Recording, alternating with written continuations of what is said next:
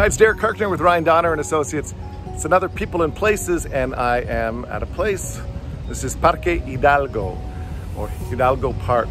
This is named after Miguel Hidalgo, who was one of the instigators of the Mexican War of Independence. So he's a very important historical figure, and a lot of places in Mexico have parks named after him. Mexico City, there's a whole area, uh, Miguel Hidalgo, named after him.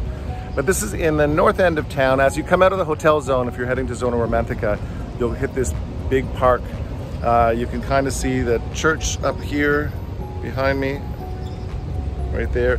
That's the Parroquia uh, in Nuestra Senora de Refugio, so one of the few big churches in town. So people talk about that church, you know that church versus the one downtown, the main one, or the other one on Lázaro Cárdenas. Um, yeah, one of the few big churches. And of course, this big park.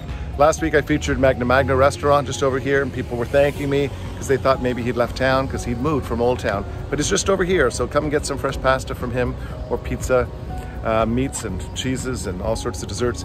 Mabel's a great restaurant spot for breakfast is over here. Lila's another great restaurant. This area has tons of great food, um, great little stores.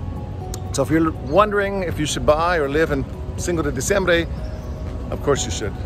You're close to the ocean, you're close to this wonderful park. There's markets once in a while. And at Easter time, the Stations of the Cross come along the Malecon and end up here. It's like a passion play. If you've never seen it, you should check it out. Oh, there's Coco in the background. Um, they end up here and Jesus gets mounted on the cross and he's bleeding and I think he almost dies here.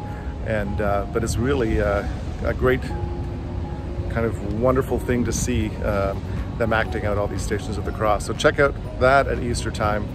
And uh, yeah, um, know that this wonderful park is here. It's beautiful at sunset.